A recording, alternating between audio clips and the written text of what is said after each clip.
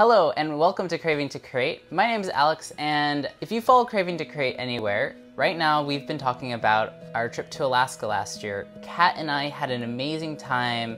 The landscapes and the nature was absolutely beautiful.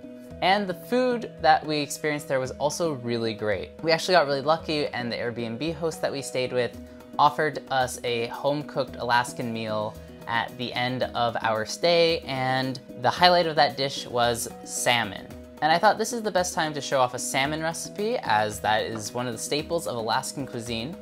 But I thought I'd throw a little twist with some of California's cuisine as well, which is why I went to the farmer's market and I picked up some cherry tomatoes, some fennel, and some shallots just to showcase a little bit of what my local cuisine is as well. So this video and recipe is going to be a fennel salmon with a tomato shallot vinaigrette. So as always, before we get going, let's go over the ingredients that you'll need. So to start, you will need salmon, of course. I've got two lovely pieces of a coho salmon.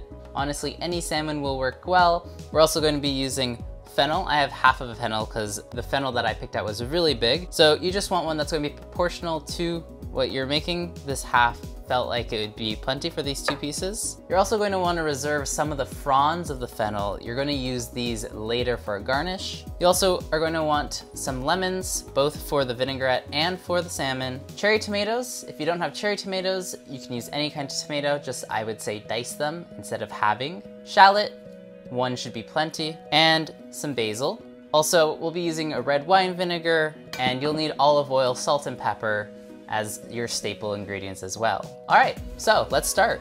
The very first step of this recipe is to go preheat your oven to 425. So once you have your oven turned to 425, you're gonna start with your fennel. So fennel is a really interesting ingredient. It smells kind of like licorice. I'm just gonna start by taking off the bottom because I won't use that.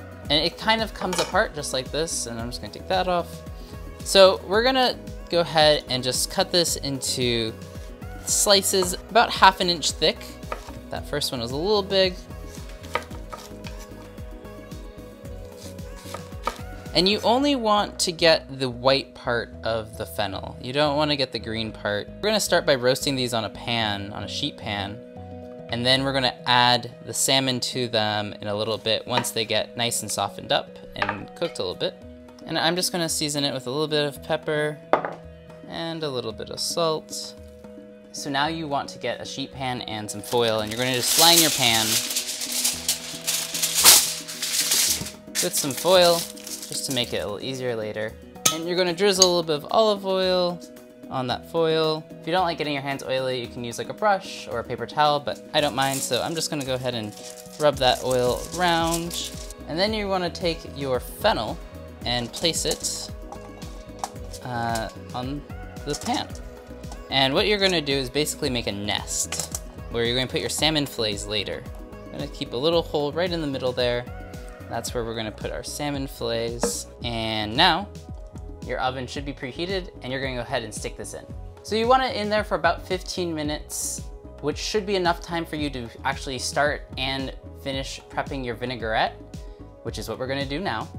But in case that you don't, you can set a timer and just go ahead and pull them out of the oven if you're not done by that point, or you can skip ahead to the salmon part and finish the vinaigrette after you're done with all the rest of it. So tomatoes, you need about a cup's worth, and I'm going to go ahead and halve these cherry tomatoes. Okay, so now that you're done with your tomatoes, I'm just gonna transfer them to our bowl.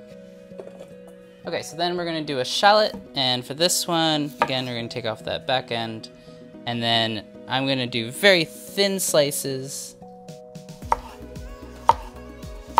So once your shallots are done, go ahead and you're gonna throw them in with your tomatoes, just like that. So I'm gonna add a tablespoon and a half of red wine vinegar.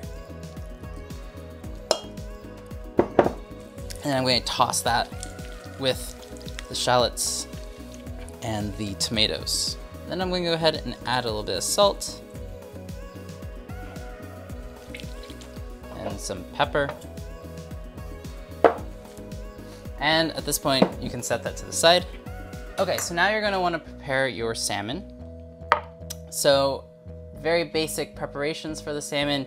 So if you get salmon from the supermarket, you're just gonna wanna make sure that you have two pretty even slices of even thickness. That way they both cook Similarly, if you're just gonna do one piece, then it's totally fine. Um, but for here, I'm gonna do two different pieces, so I'm gonna try to keep them similar in shape and similar in size. And I'm just gonna go ahead and we're gonna put some pepper on these.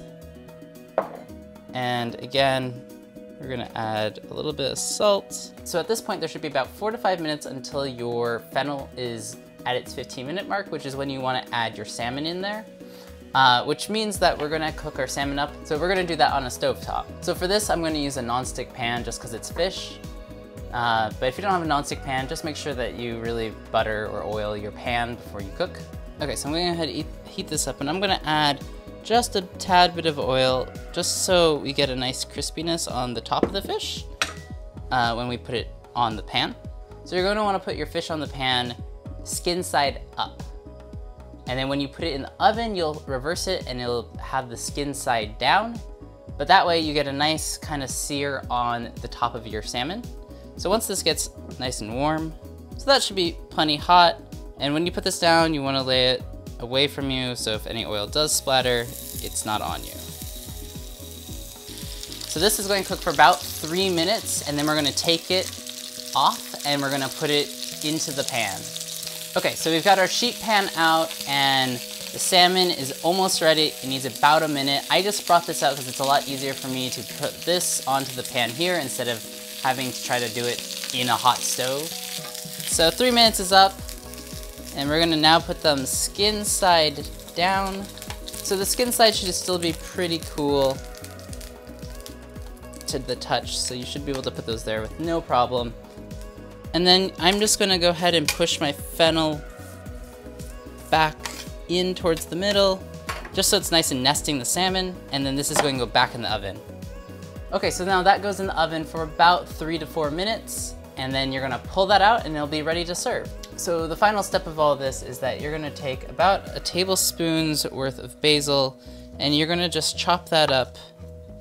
Uh, this is gonna be for the tomato vinaigrette just roughly chopped, and you're gonna just throw that in there with the tomatoes and shallots. And then I like to add a little bit of lemon zest as well. So if you have a microplane or a zester, go ahead, and I'm just gonna do about a lemon's worth and dunk that in there with the vinaigrette.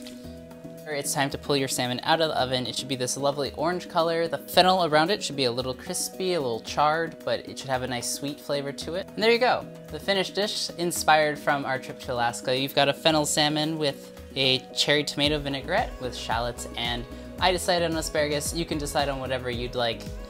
I hope you enjoyed this recipe video.